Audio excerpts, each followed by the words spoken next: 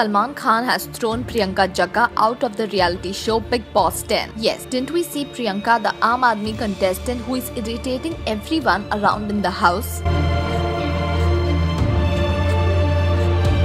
She called Lopamudra another contestant a and also passed comments on Manu's deceased mother. But Salman lost his head when Priyanka argued with Salman. Obviously, a furious Salman threw her out of the house and asked her to leave. Priyanka, the incorrigible one, walked out of the Bigg Boss household. Everyone has been hating Priyanka for her behavior and her attitude, but this obviously got beyond limits. Salman Khan is a person who mentors everyone on the show and it is because of him that the show also has the highest TRPs. However, he also ensures that things don't cross the morality values. Priyanka sure has crossed this expectation and she has rightly get the boot. We know what it is to rub Bhaijan on the wrong side and Priyanka's claims of ill health go under weather.